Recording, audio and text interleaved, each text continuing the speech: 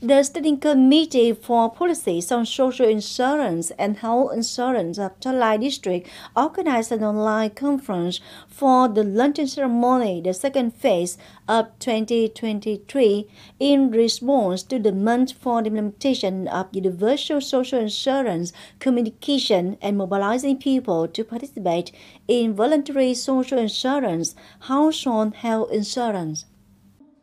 To respond to the month of campaigning for the implementation of universal social insurance, communication, mobilizing people to participate in voluntary social insurance and household health insurance, Thới Lai District organizes mobile propaganda utilizing cars and motorbikes with attached social insurance media messages. The objective of this campaign is to continue to propagate and directly mobilize workers in in the area, such as farmers, craftsmen, small traders, and traders in the markets to participate in voluntary social insurance, household health insurance for health care, and pension at the end of working age.